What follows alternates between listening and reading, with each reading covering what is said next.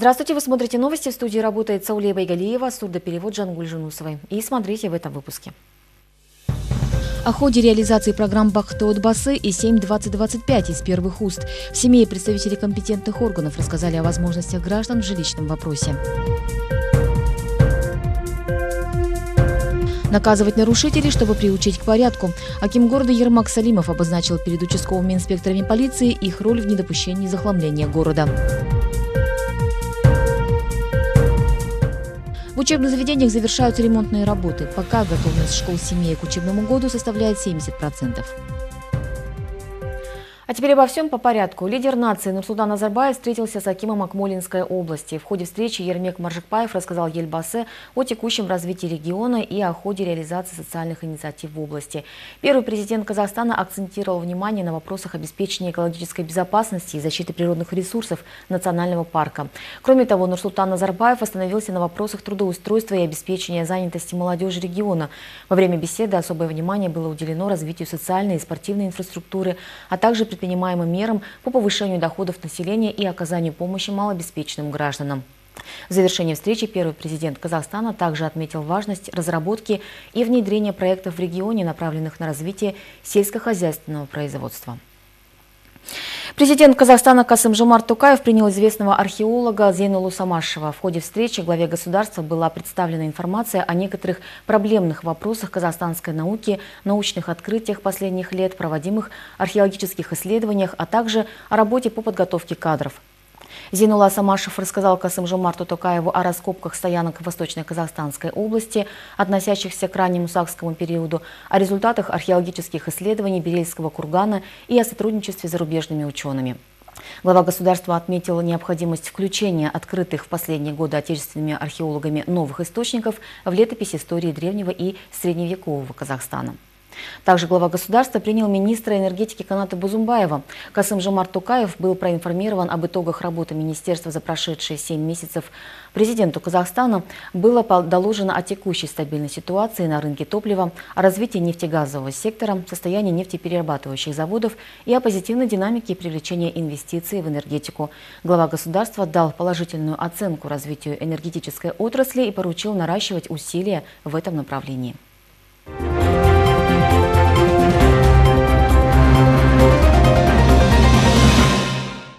Восточно-Казахстанской области просубсидированы 115 бизнес-проектов многодетных семей. Аким области Даниил Ахметов проинспектировал ход работ по выдаче микрокредитов для многодетных семей.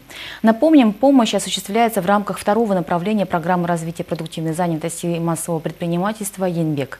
За выполнением пунктов плана закреплены госорганы, палата предпринимателей и финансовые организации.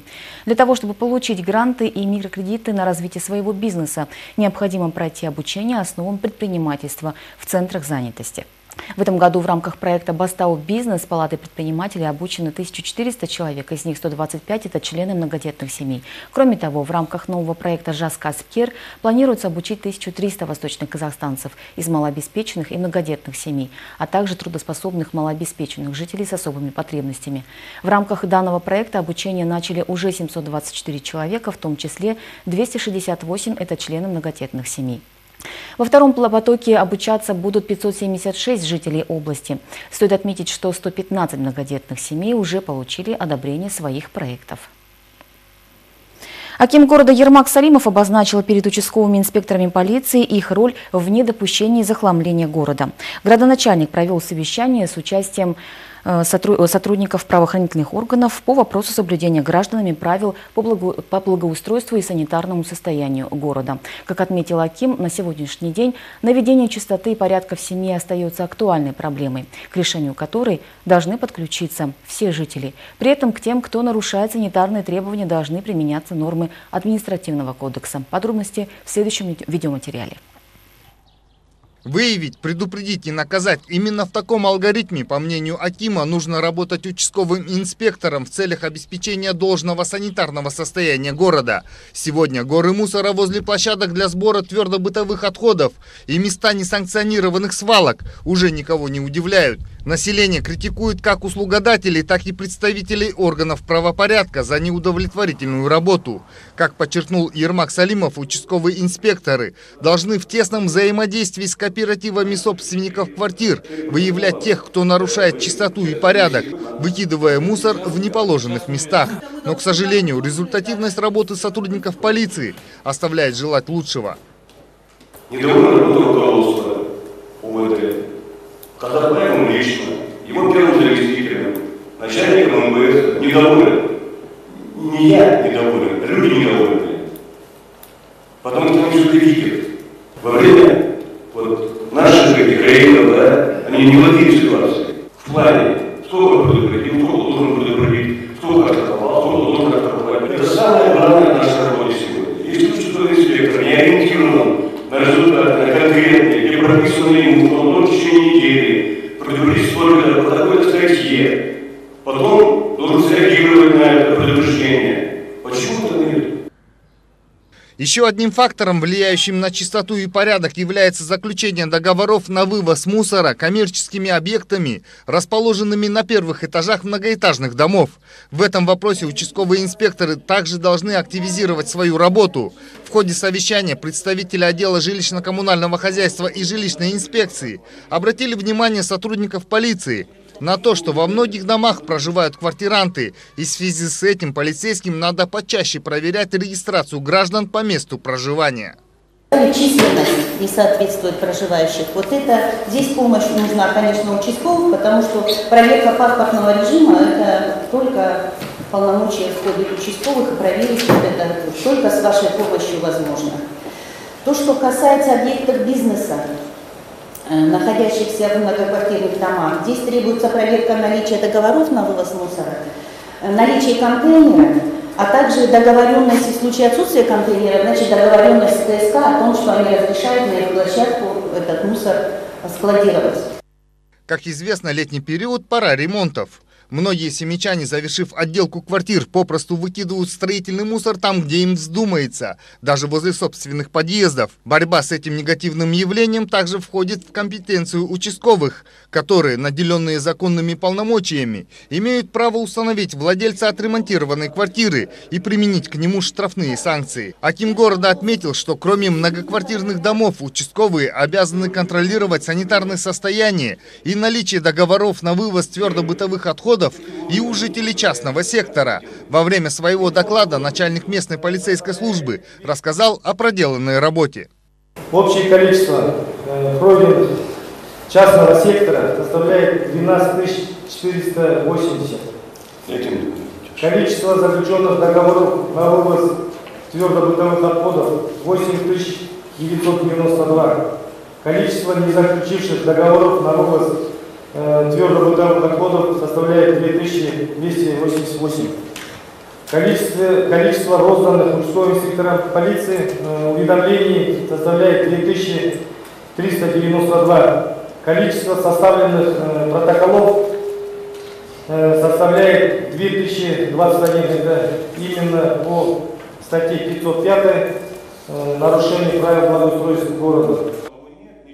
В завершение встречи Ермак Салимов призвал участковых полицейских работать системно. В дальнейшем их деятельность в этом направлении будет рассматриваться еженедельно, и по итогам работы будут приняты соответствующие меры. Аким еще раз подчеркнул, что окончательный результат должен быть один – чистота и порядок в городе.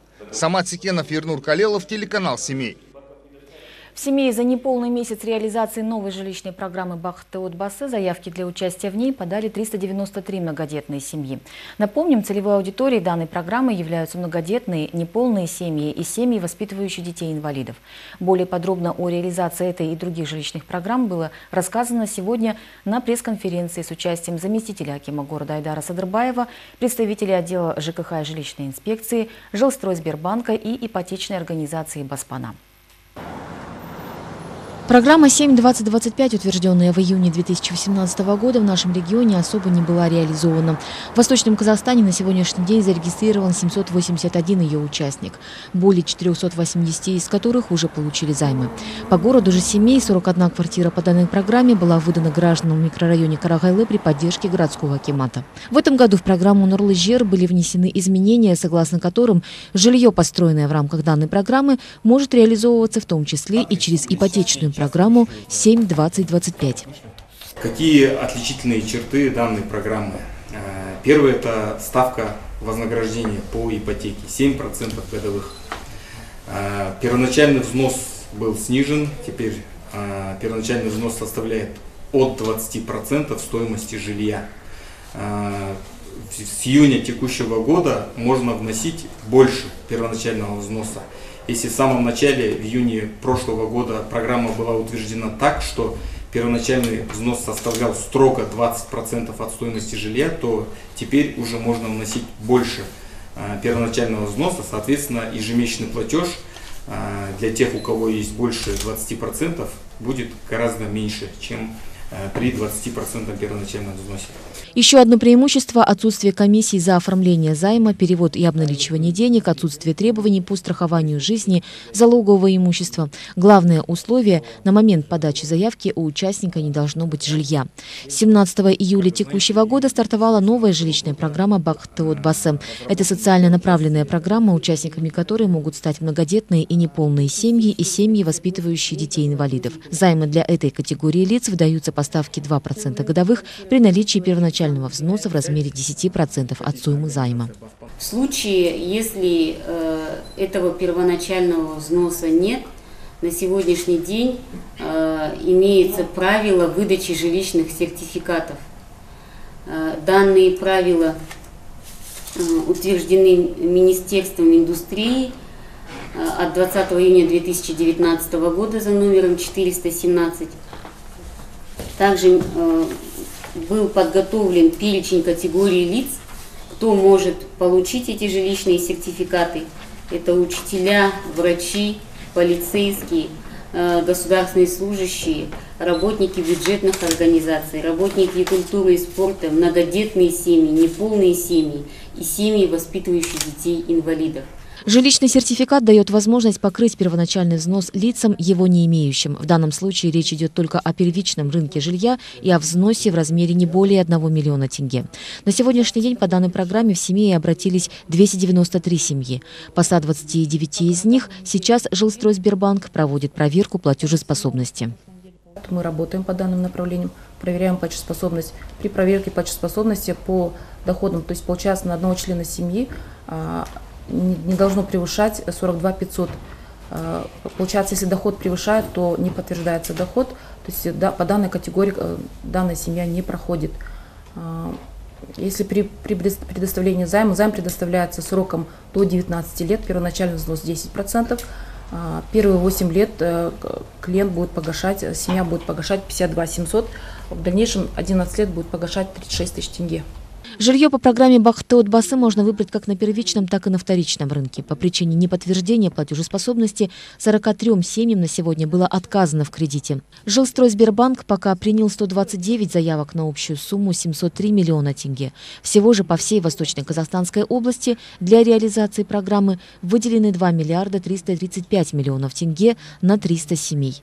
Так что у граждан еще есть шанс стать первыми участниками программы и улучшить свои жилищные условия.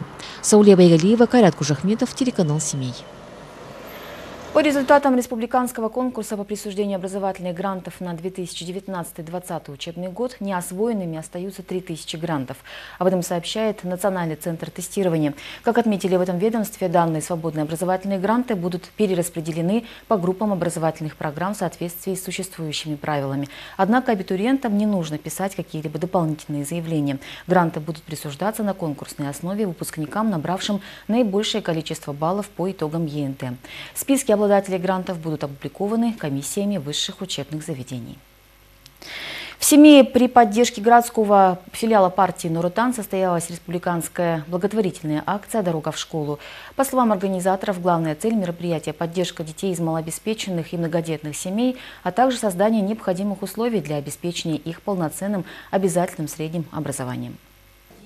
Напомним, что акция «Дорога в школу» проводится в нашей стране с 2008 года. Отметим, что активное участие в данном благотворительном мероприятии принимают городской филиал партии «Нуротан», депутаты областного и городского маслихатов, первичные партийные организации, предприятия и учреждений семея, отдел образования, а также различные общественные фонды, неправительственные организации и предприниматели.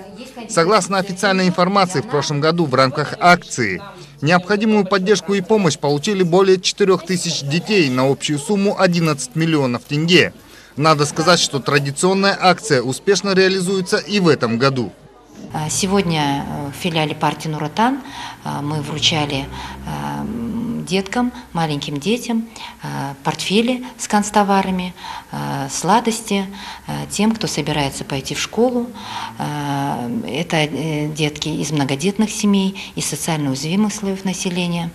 И это у нас традиционная акция такая проводится в стенах филиала партии «Нуротан». В ходе подготовки к новому учебному году существенная поддержка оказывается школьникам из малообеспеченных и многодетных семей. В очередном благотворительном мероприятии приняли участие первый заместитель председателя партии, руководитель отдела образования, секретарь общественного совета, члены общественного объединения Ассоциации деловых женщин, а также индивидуальные предприниматели. Вообще у нас по области ведется очень большая поддержка многодетным и социально уязвимым семьям. А, Выдается школьная форма, питание бесплатно, мы знаем. Даже был организован летний отдых. Ну, хочется, чтобы наша общественность, э, бизнесмены, которые предприниматели нашего города тоже активно принимали в этом участие, присоединялись к нам. В этом году благотворительная акция «Дорога в школу» прошла в необычном формате. Во время мероприятия детям из малообеспеченных и многодетных семей были вручены учебные пособия и сладкие угощения. Организаторы отметили, что по поручению министра образования и науки благотворительная акция будет проводиться в течение всего года.